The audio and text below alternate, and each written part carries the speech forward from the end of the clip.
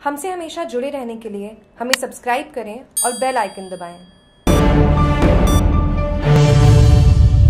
बाड़मेर में एटीएस ने 22 kilo heroin पकड़ा, दो गिरफ़्तार थार नगरी बाड़मेर में एटीएस की बड़ी कार्रवाई 22 किलो हेरोइन के साथ दो लोगों को पकड़ा।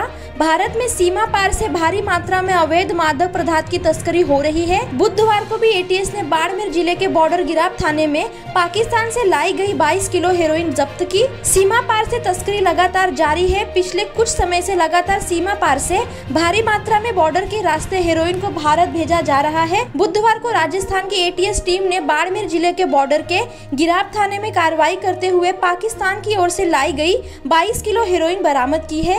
एटीएस इस मामले में दो लोगों से पूछताछ भी कर रही है। देर शाम एटीएस से इस पूरे मामले का खुलासा करेगी। प्रारंभिक जानकारी के अनुसार एटीएस पिछले कुछ दिनों से लगातार बॉर्डर के इलाकों में पुरानी तस्करों के साथ संदिग्ध लोगों पर नज़र रखे हुए थी। उसी के तहत आज एटीएस ने गिराव रामसर थाना इलाके में दो लोगों को पूछताछ की। प्रारंभिक जानकारी में इनके पास 22 किलो हेरोइन बरामद होने की सूचना सामने आई।